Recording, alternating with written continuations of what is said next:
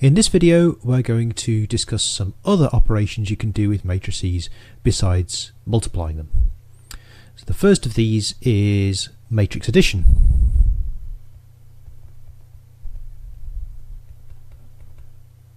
So if you have two matrices A and B um, which are both M by N matrices and let's say that their entries are Aij and Bij. Then you can define a new matrix A plus B whose ijth entry is the sum Aij plus Bij. You're just adding the corresponding entries of A and B. So for example, uh, you know, 1, 0, 1, 1, plus uh, 1, 1, 0, 1, maybe minus 1, uh, would be what? 1 plus 1, 2, 0 plus 1 is 1, 1 plus 0 is 1, and 1 plus minus 1 is 0. Right, just adding each entry with the corresponding entry to get the entry in the same place. So this is perhaps most familiar and most useful when you're looking at vectors. Because you know vectors are in particular matrices. So this is a special case of, of matrix addition.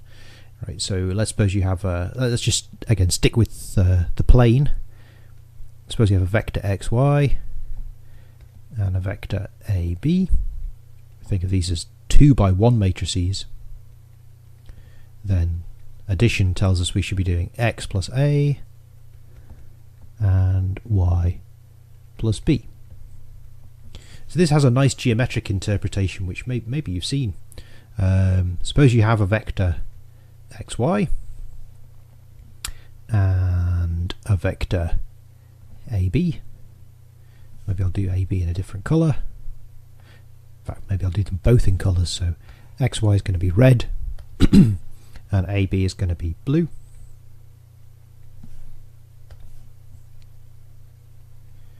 Uh, so if you want to get the sum of those two vectors, uh, what you do is you take one of them, doesn't really matter which, let's say take the blue one, you transport it in a parallel way until it sits at the end, the tip of the red vector.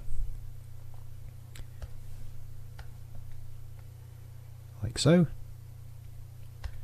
and now draw an arrow from the base of the red vector to the tip of the blue vector. And um, that's going to be our sum.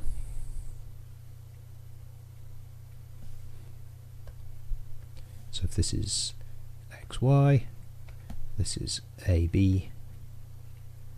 then this is x plus a, y plus b. It's not too hard to convince yourself of this, right? Because what is the x coordinate of this point here? It's obtained by taking the x coordinate of this red point here and adding it to the x component of this blue vector, which is a. I should move some of these vectors out of the way.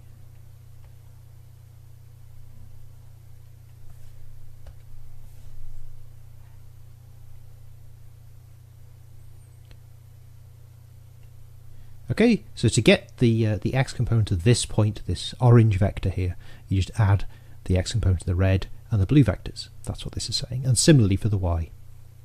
In this case, you're going up by y and then down by b to get there. Another thing you can do, that's matrix addition, vector addition. You can rescale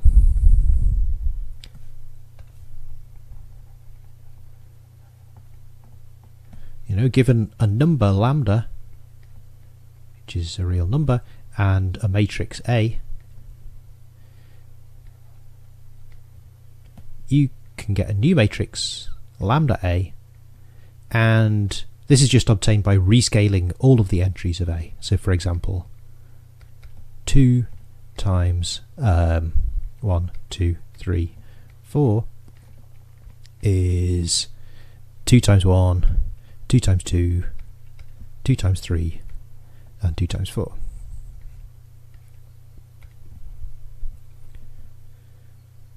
Okay. So what we're going to do now is we're going to combine these two operations and matrix multiplication and define a much more interesting operation, which is matrix exponentiation.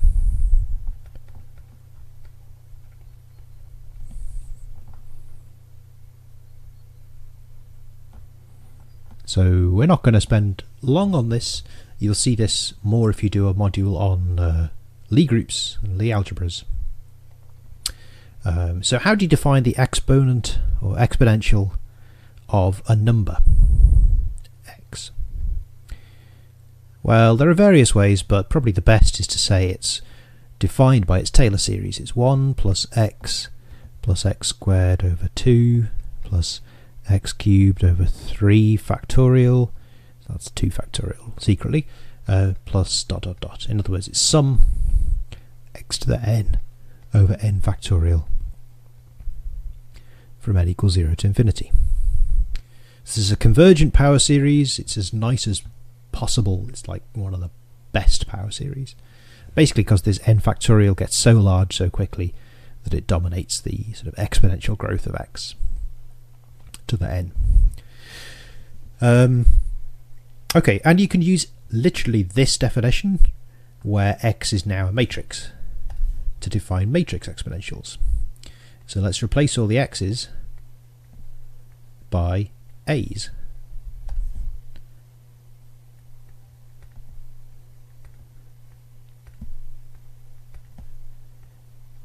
Right, a to the n is just a times a times a times a, n times.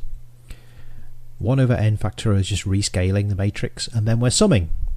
And okay, well, it's an infinite sum, so you have to worry about convergence of uh, sequences of matrices, but let's not worry about that.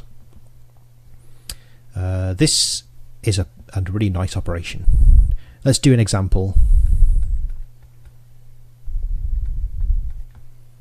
So the simplest kind of example is when A is what's called nilpotent, something like this, 0, 1, 0, 0. Something where a to the n eventually becomes 0. In this case, a squared is actually already 0. You can check that. So in particular, all the higher terms in this sum are going to vanish. So the sum is actually a finite sum in this case. It's just x of a equals... Ah, now I should say, here I've done that thing where I I said I'd do it, where I've written the identity matrix as a 1. So this is really the identity matrix here. So x of a is the identity matrix, which is 1s on the diagonal, plus a plus a whole bunch of zeros.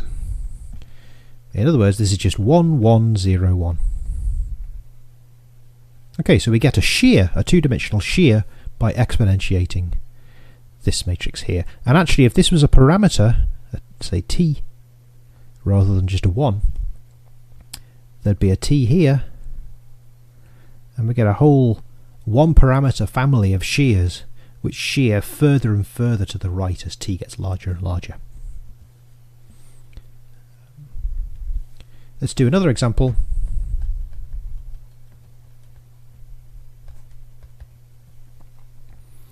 Uh, let's take uh, a equals 0 minus t t 0. This is one of my favourite examples. So what happens if we do a squared? If you multiply it out, you're going to get minus t squared 0 0 minus t squared. In other words, that's minus t squared times the identity matrix. So a cubed is well we can we can actually we can think of a already as being t times the matrix 0 minus 1 1 0 so a cubed is now minus t squared times the identity times t times this so that's minus t cubed times 0 minus 1, 1, 0. And a to the 4. Again, when we multiply by a, we're just increasing the power of t by 1. So we get t to the 4. And now we have 0 minus 1, 1, 0 times 0 minus 1, 1, 0. That's minus the identity. So overall, we lose this minus sign. And we get the identity. And what you can show is that actually x of a is the identity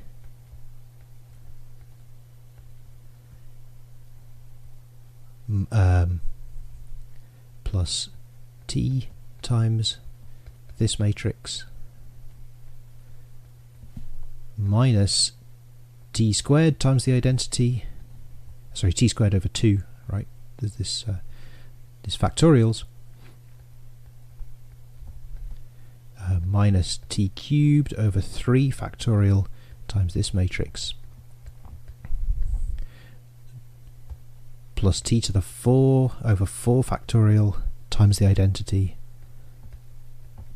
plus t to the 5 over 5 factorial times this matrix. Hopefully you're starting to see where I'm going. I'm just going to put dots there. This is something times the identity matrix plus something times 0 minus 1, 1, 0. What's the something? Well, if you look at it, it's actually the power series of cos and the power series of sine. So this is cos t times the identity matrix plus uh, sine t times 0, minus 1, 1, 0, which is, lo and behold, our favourite matrix for rotations in 2D. Cos t minus sine t, sine t cos t. Isn't that great? You get a two-dimensional rotation matrix just by exponentiating this antisymmetric matrix A. And in fact, that's, that's a very general fact that if you exponentiate an antisymmetric matrix, one so antisymmetric means uh, sort of opposite entries on either side of the diagonal differ by a sign, then you're going to get a rotation matrix. Maybe 3 by 3, maybe 4 by 4, maybe higher dimensional. Okay, so in the next video we're going to look at dot products of vectors and orthogonal matrices and uh, more about rotations.